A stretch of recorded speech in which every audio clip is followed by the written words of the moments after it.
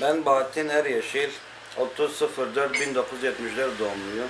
Bu mesleğe ilkokul 4'ten beri rahmetli ustam Abdülkadir Parlak vardı. Onların yanında büyüdüm. 29 yıl onların yanında çalıştım. Şu mesleği bana sevdiren onlardır. Ben de Allah'a şükür kavradım. İlkokul, ilkokul çağlarında ben okula fazla meyilli değildim. Cenab-ı Allah herkese bir yetenek vermiş. Herkes doktor, bakan olacak değil. Cenab-ı Allah bana bu yeteneği vermiş. Büyükler bu cevheri görmüştü. Okula yaramadığım için de rahmetli babam ustama verdi. Onlar da sağ olsun idare ettiler bu seviyeye getirdiler. 29 yıl boyunca onların yanında çalıştım. Bu meslek rahat öğrenilecek bir meslek değil. Çok zor bir meslek. Yani bir iki yılda öğrenilecek bir şey değil. Tabii ben askerlikten sonra tezgah arkasına geçtim. Diğer e, yıllarda hep ayak işleri, duvar saatlerin tamiratında, gözlük tamiratında, e, cam kesim e, makinasında çalışıyordum. Önce önce bir 10 yıl denemeden geçtik. El emeği demesinden. Ondan sonra parçaları tanıdık, malzemeleri tanıdık, tişler olsun, direkler olsun, zemberekler olsun, yeni nesil çıkan piller olsun ayrı, tişler var, maşalar var. Bunları öğrendikten sonra askere gittim, geldim.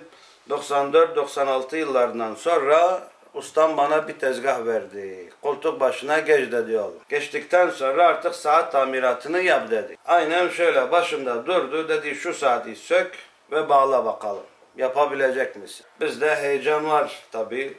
Aynen şu anki sınavlar gibi. Bir öğretim üyesi alta lise çağındaki çocuklar sınava giriyor. Nasıl heyecanlanıyor? Biz de böyle heyecanlandık. Usta başımızda duruyor. Ben de saati söktüm, arızasını giderdim, bağladım, bakımını yaptıktan sonra ustam dedi helal olsun tamamdır. Ondan sonra tezgahın arkasına geçtik. Dükkanı biz açmaya başladık, biz kapatmaya başladık. Öyle çalışmaya başladık. 2012 ee, yıllarında yıl başında ustamdan müsaade aldım. Dedim yaş itibariyle artık yaşımız da geçiyor.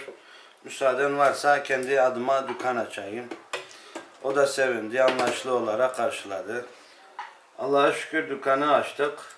2012'den bu yana kendi adımıza çalışıyoruz. İki tane eleman da yetiştiriyorum yeğenim olmak üzere.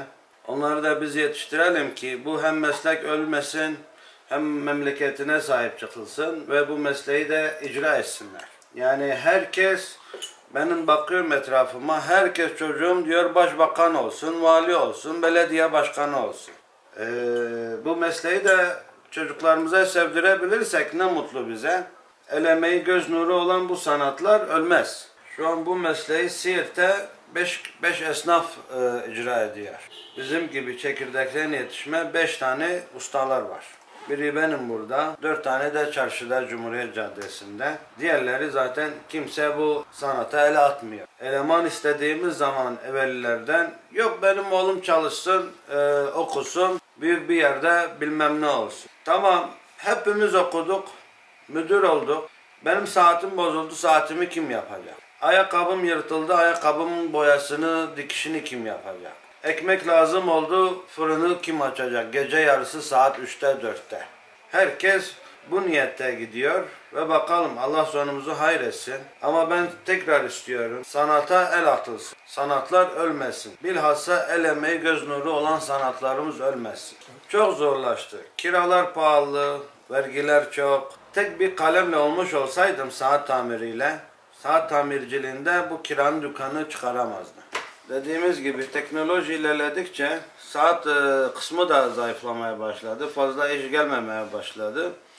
Biz de ek iş girişiminde bulunduk. Ek giriş, giriş, girişte oto kumandayı getirdik. İçinin girişine girdik. İçinin girişini de 8-9 yıldır Allah'a şükür başarıyla yapmaktayız. Bu saat 90 yıllık. Bu saatin bakımını, tamiratını, kordonu, gün ortamında yapamıyoruz. Gün ortamında kalabalıktır. Biz bunu neye bırakıyoruz? Gece mesaisine kalıyoruz. Dükkanın kepengini indiriyorum. İndirdiğimiz zaman bu saatin en güzel hassas noktalarına kadar hepsini söküyoruz. Söktükten sonra tamiratının bakımını yapıyoruz ve kordonu da takacağız ve müşterimize izah edeceğiz, vereceğiz. Bu saatin de en büyük özelliği hepsi el yapımıdır. Orijinal Japon malıdır. Yakından çekim yapmak istiyorsanız Şöyle gösterebilirim. Evet. Zaten bunu bilenler hepsini biliyor. Ne demek istediğimi de anlıyorlar onlar. Bu saatin özelliğini bilenler ne kadar orijinal kaliteli olduğunu da biliyorlardır. Şu anki deyimimizle şu anki yeni bu pillidir. Bu fonksiyonlu saattir. Telefonla arayacağız. Ertesi gün bir iki gün sonra gelip alacağım.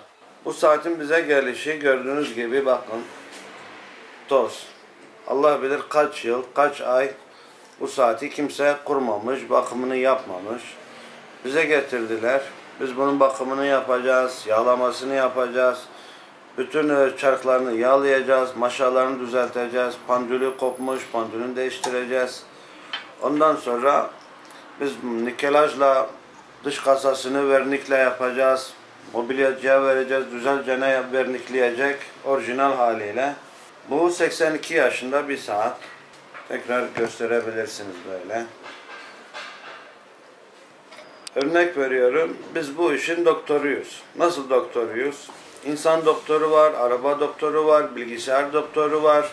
Bu saatin de doktoru biziz. Müşteri bunu getirdiği zaman bozuk halde arızasını bilmez. Biz bir doktor olarak, saat doktoru olarak biz bunu görür görmez arızasını biliyoruz. Biz arızayı gidereceğiz. Ondan sonra tahlillerimizi yapacağız. Tahlillerimizi yaptıktan sonra ilacını, serumunu vereceğiz. Bakımıdır, yağdır, maşasıdır, pandülüdür, zembereğidir. Biz bunları yapacağız. Yaptıktan sonra müşterimize teslim edeceğiz.